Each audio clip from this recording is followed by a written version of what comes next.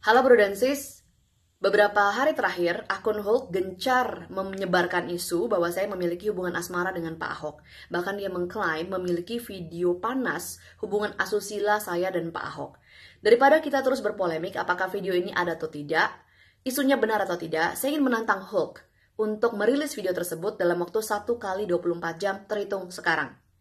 Jika besok Hulk gagal merilis video tersebut, maka terbukti semua cuitan Hulk adalah imajinasi belaka, persis seperti gambar avatarnya yang merupakan makhluk hayalan belaka.